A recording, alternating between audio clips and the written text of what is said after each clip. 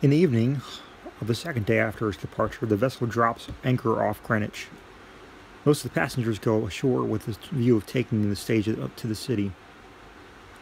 Peter, however, who considers that he already spent money enough to no purpose, prefers to remaining on board. We shall get to Billingsgate, says he, while I'm sleeping, and I shall have plenty of time to go home and dress and go in this, into the city and borrow the trifle I may want for Pester and Company's bill. It comes due the day after tomorrow. This determination is a source of much trouble to our hero, as will be seen in the sequel.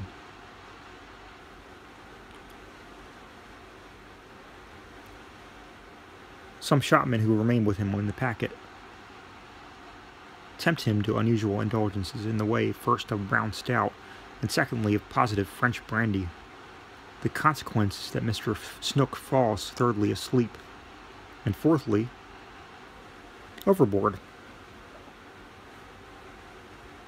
About dawn on the morning after this event, Ephraim Hobson, the confidential clerk and fact, factotum of Mr. Peter Snook, is disturbed from sound sleep by the sudden appearance of his master.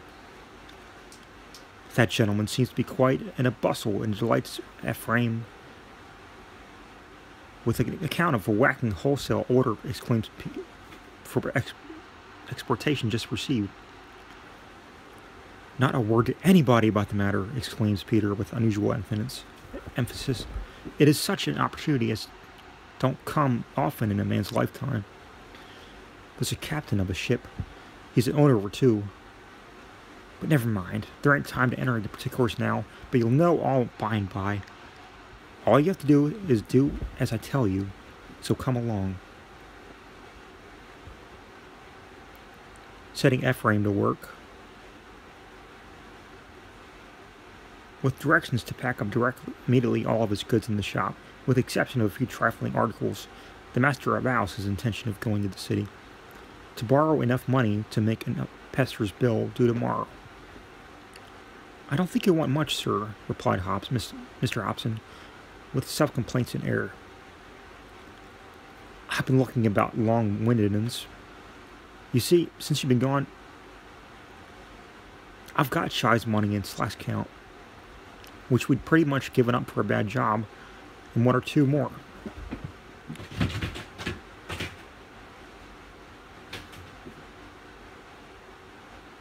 There, there's a list. And there's the key to the strong box where you'll find the money, besides afterwards. Besides what I took at the counter. Peter at this seems well pleased and shortly after goes out, saying he cannot tell when he'll be back, and giving directions that whatever goods he may be spent and sent in during his absence shall be left untouched till his return. It appears that after leaving his shop, Mr. Snook proceeded to that of Job. Flash Bill and Kirk Company.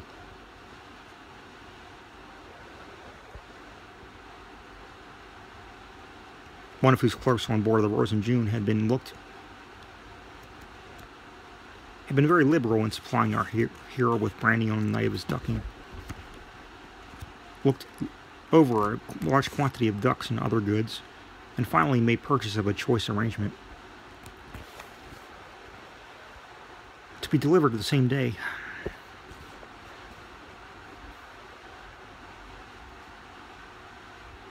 His next visit was to Mr. Bluff, the managing partner in the banking house where he usually kept his cash.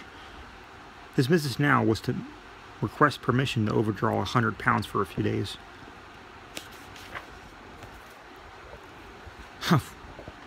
Said Mr. Bluff. Money is very scarce, but... Bless me, yes, it's he. Excuse me a minute, Mr. Snook. There's a gentleman at the front counter whom I want particularly to speak to. I'll be back with you directly.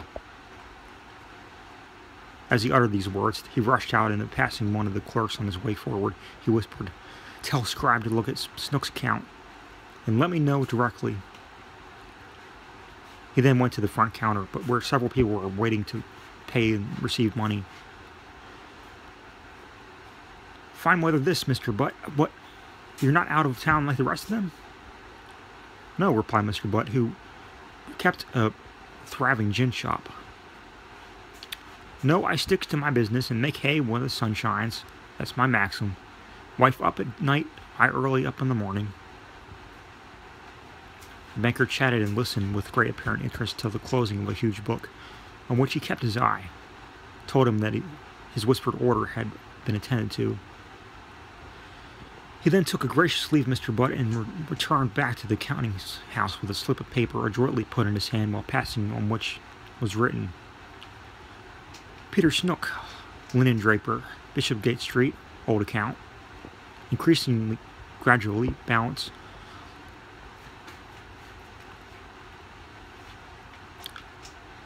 One hundred fifty-three pounds, fifteen shillings, six D. Very regular.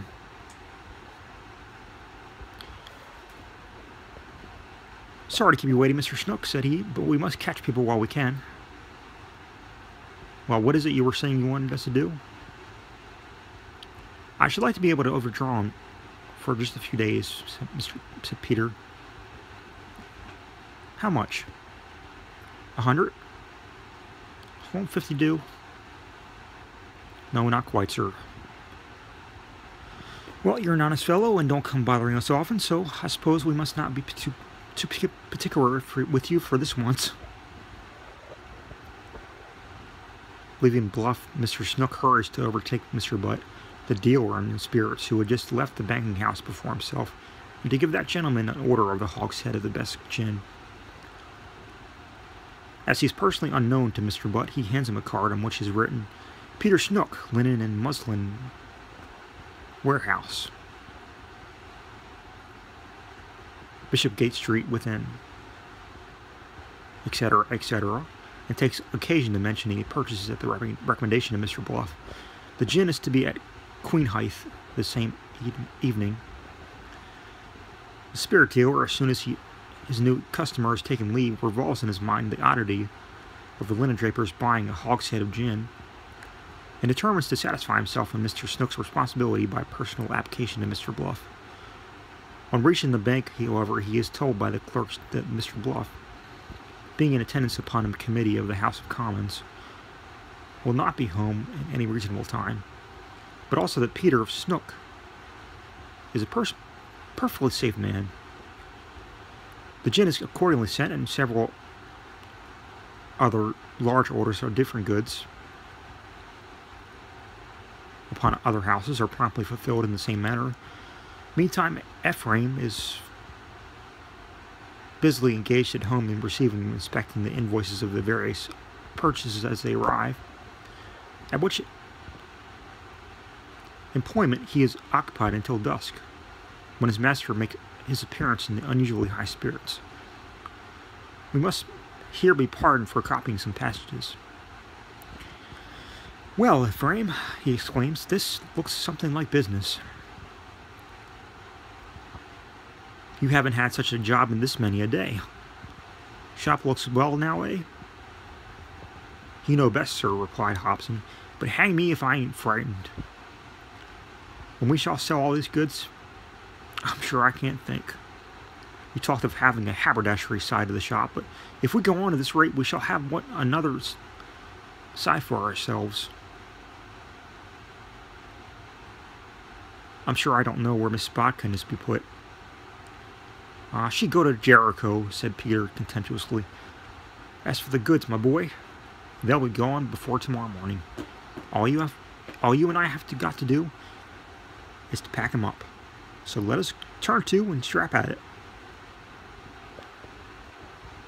Packing was Ephraim's favorite employment, but on the present occasion, he set to work with a heavy heart. His master, on the contrary, appeared full of life and spirits and quartered boxes, sewed up trusses, and packed huge paper parcels with a celerity and an adroitness truly wonderful.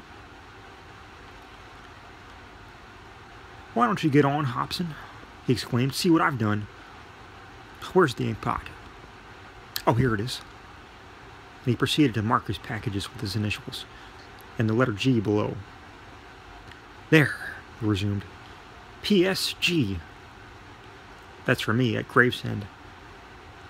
I'm to meet the captain and owner there. Show the goods if there's any he don't like. Shall bring him back with me. Get bills, banker's acceptances for the rest. See him safe on board, and then, but not before. Mind that, mist Master Ephraim.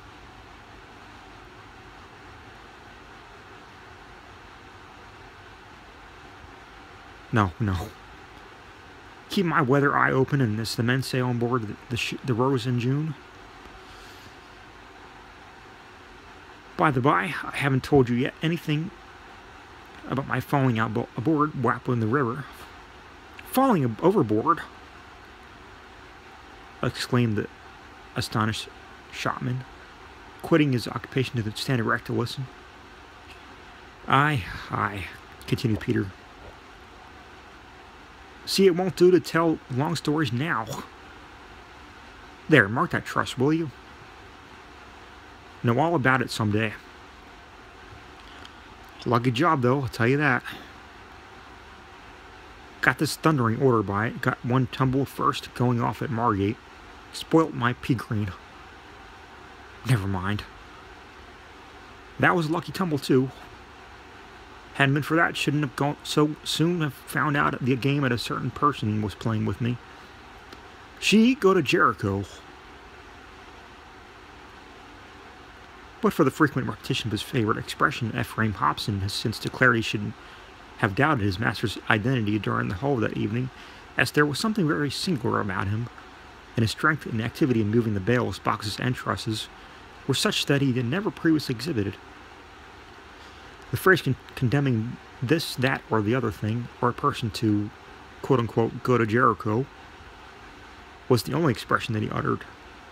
As the shopman said, naturally, and Peter repeated that whimsical anathema as often as usual.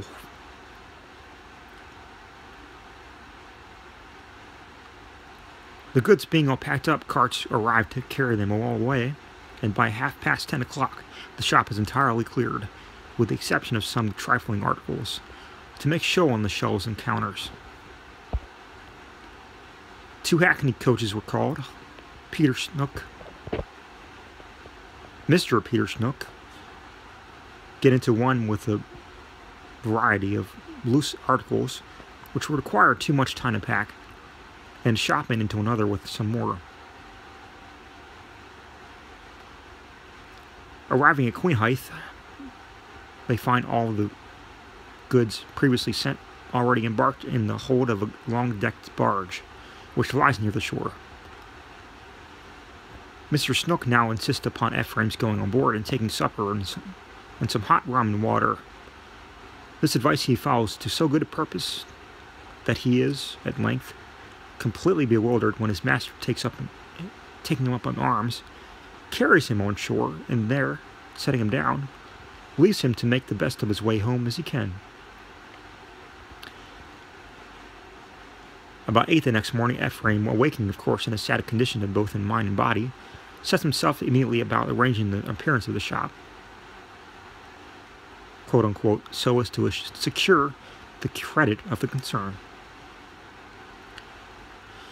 In spite as well as ingenuity, however, it maintains the poverty stricken appearance, which circumstance excites some of the most unreasonable suspicions in the mind of Mr. Bluff's clerk upon his calling at 10, with Pester and Company's bill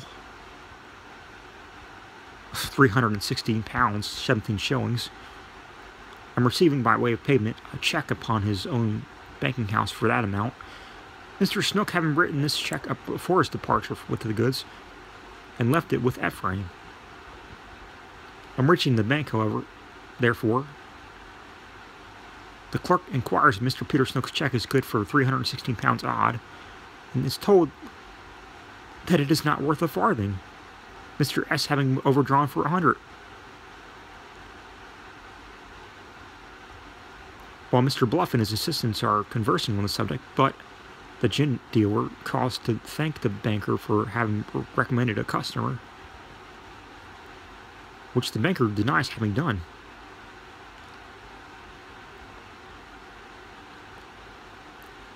An explanation ensues, and stop, thief! is the cry. Ephraim is sent for and reluctantly made to tell all he knows of his master's proceedings on the day before, by which means that knowledge is obtained of the other houses. Who would have supposed to have been swindled?